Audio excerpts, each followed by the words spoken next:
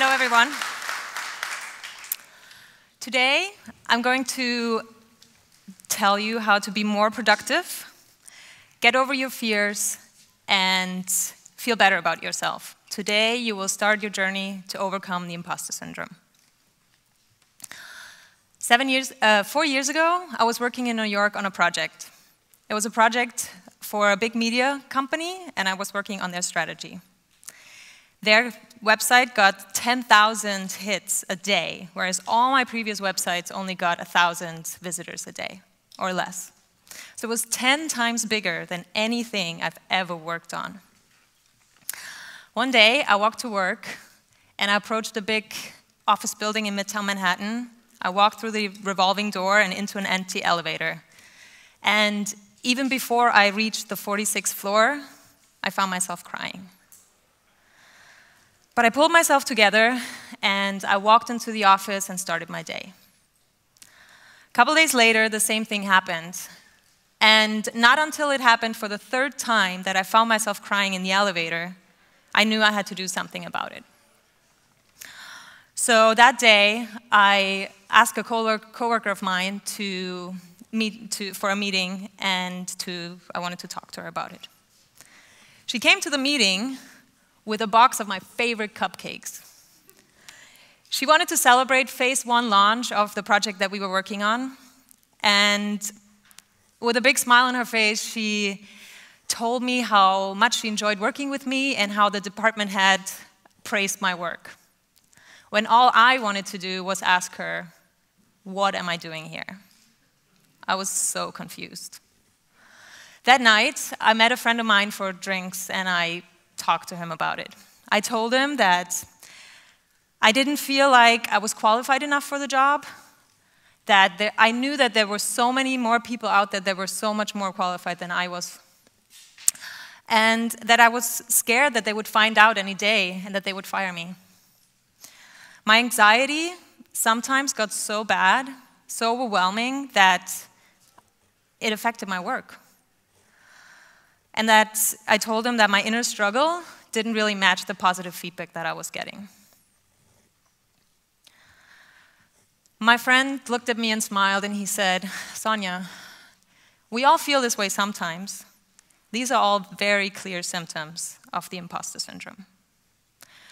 So, what is the imposter syndrome? The imposter syndrome is that discouraging, judgmental, and disabling voice in your head that tells you you are not good enough.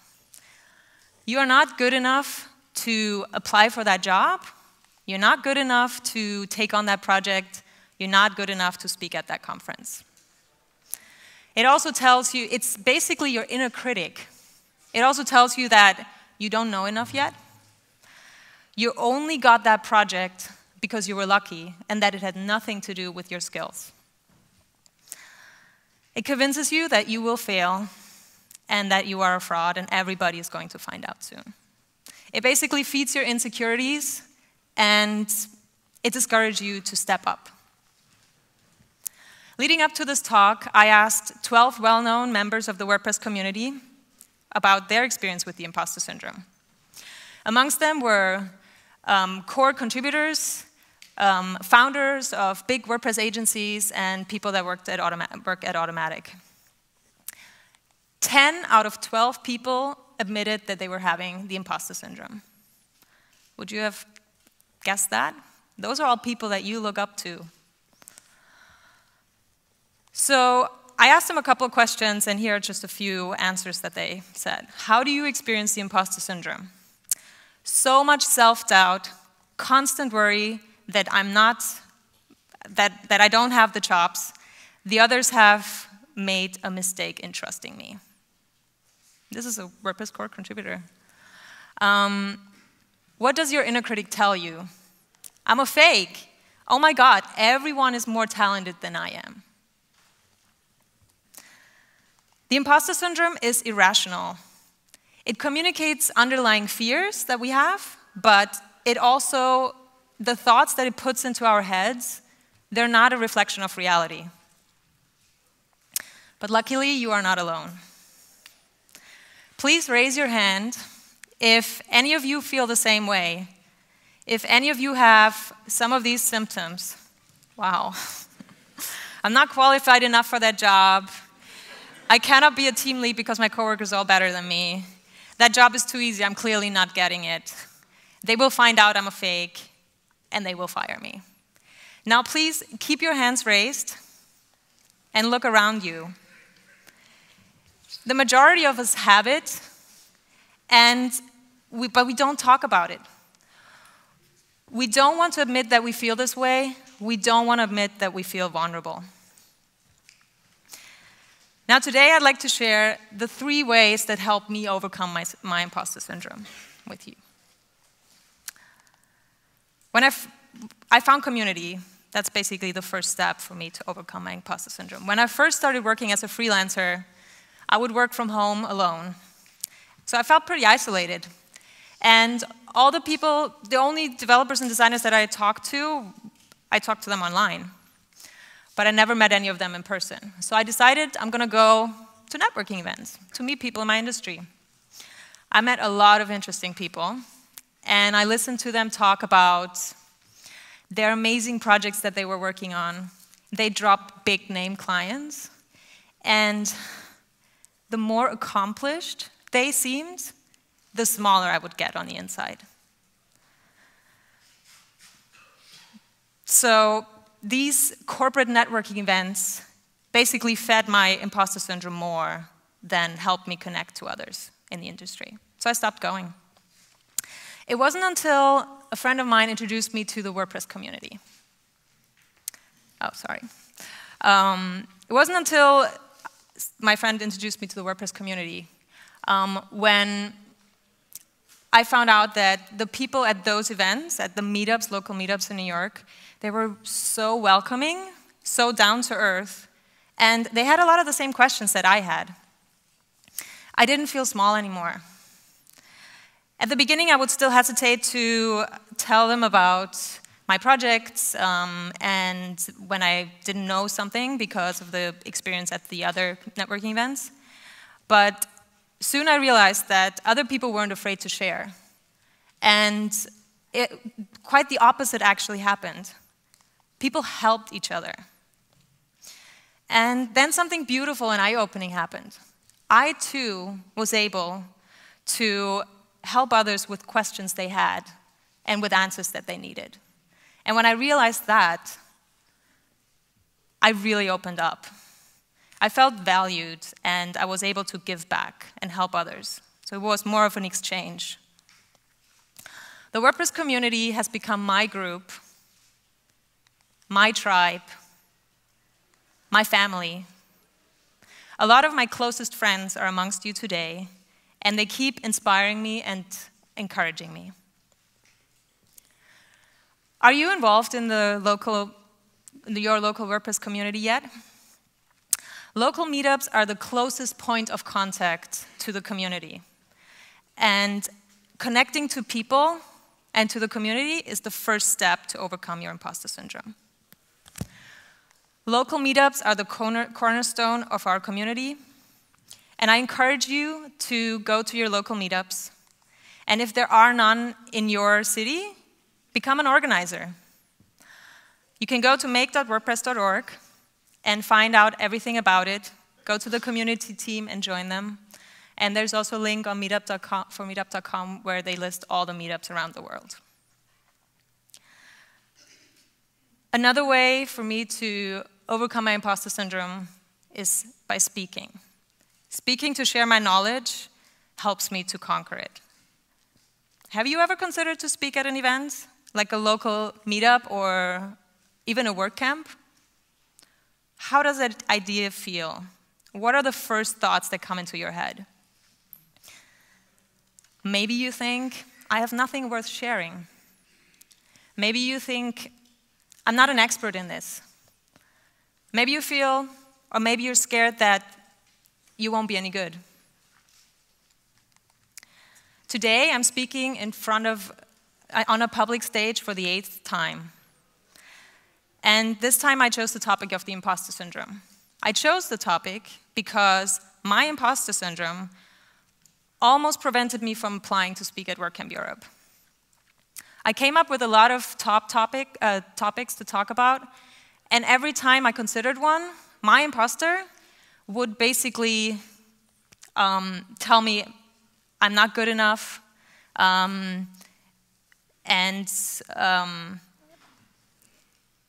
I have nothing to share, and it basically prevented me. So before uh, submissions closed, um, I just, uh, I basically just submitted the topic of the imposter syndrome. And when I got the email that they were take, they uh, that I got approved to speak, I was equally excited, and I was also terrified because I thought I'm not an ex. Well, those are some of the things that got. Sorry, I lost it there. okay. Um, yeah, equally excited and terrified. It felt like I'm gonna jump out of a plane and I was just waiting to crash and burn. But luckily, I have amazing people in my life who constantly encourage me and lend their support. Um, it's funny how sometimes we uh, listen to the people uh, that are closest to us more when they criticize us rather than when they praise us. Um, we should listen to their praise. We do deserve it. Speaking at events helps me dismantle the false statements, statements of the imposter syndrome. If you've ever spoken um, at an event before, do you know the feeling when you step off stage and you feel like it wasn't good enough? I know the feeling really well. But this is, what happened there is that it's how we measure ourselves subject, subjectively. You should not trust this feeling. What you need to trust is the feedback that you get. So when you step off stage, you need to ask the right question. Don't just ask, how did I do? Ask people, what did, uh, what did you like best about my presentation? Um, was there anything that I could have improved? And if all the feedback is positive, very likely that you did a great job. So if you've ever considered speaking and you hesitated to apply, I would encourage you to apply to speak at your next local meetup or WordCamp. Thirdly, I started contributing. Um, contributing to WordPress um, is something that a lot of people in this room already do. If you have never contributed before, I would encourage you to look more into it. Um, when, I, when I became part of the community, um, I would start contributing during WordCamp contributor days here and there over the years, but I would never really contribute outside of contributor days. Because I thought, what big contributions can I make anyway? I'm not a developer, so I cannot contribute to core. Um, there are so many designers out there that are so much better than me. I simply didn't feel I was good enough to contribute yet. But when you compare yourself, because that's what I was basically doing. I would compare myself to all the other people that were contributing, to so many people that I was looking up to in the community. What you do when you compare yourself to others is basically that you compare your shortcomings, all your little mistakes, to their biggest accomplishments, their shiniest moments. And how is that being fair to yourself? We all make mistakes. And when you contribute, you people will see that you make mistakes. But it's okay. We know that we need to make mistakes to learn, but we are so afraid to fail. Failure feels like such a big thing and has such big implications. But you should fail a lot because you will learn from it. You will learn so much and you will grow. But then one day something shifted. It was in 2014 when I went to WordCamp uh, Seattle Contributor Day, and Siobhan approached me to invite me to work on a project that she was thinking about for a long time. She wanted to work on improving the image editing experience, and she put together a small team that day. So Morten, Siobhan, and I were working on um, scope and initial UX sketches. We started analyzing and documenting um, the issues. And even after Contributor Day, we started a weekly meeting. We continued working on the project. We posted updates on the Make blog. And it was great because I was able to bring in my expertise and my ideas and got great feedback. And I felt really valued and I got, I just got great feedback from people in the community, people that I looked up to. So I became more confident to contribute. It made me realize that, yes, my contributions are welcomed and they're, wel uh, and they're valued.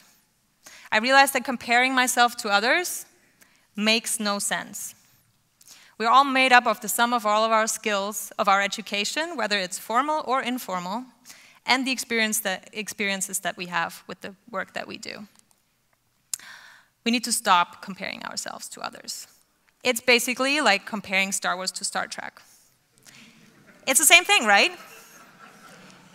It, I mean, they both have spaceships, they have like weird characters, and they fight battles. It's the same thing, right? No, it's not the same thing. They're not even in the same genre. One is science fiction and the other one is fantasy. So you cannot compare the two, just like you cannot compare yourself to others. And then I realized something else. We all cook with water. Even the people that you look up to the most, they too sometimes just follow the flow and, and just dive in and try it. And that's okay. But what, what the difference is that they, they do the first step and they do the work. So now you might not be sure what you can contribute to. That's actually can be quite a selfish decision. Just think about what do you want to know? Um, maybe you want to learn more about accessibility. Why not join the accessibility team? They always look for more people, and you will learn so much while contributing. I personally contribute to translations at the moment. Uh, I help with events, I speak, and I also want to get more involved in the UX and design team again. Overcoming your imposter syndrome is a journey, but you are not alone in this. Having joined the community, speaking at events, and contributing to WordPress helped me become friends with my imposter syndrome. So I'd like to invite you. Tomorrow, there is a contributor day. Please join me and contribute to WordPress to, over, to start overcome your imposter syndrome. And if you're still not sure how you can make WordPress better, please find me tomorrow and we can find out, we can figure it out together. Thank you.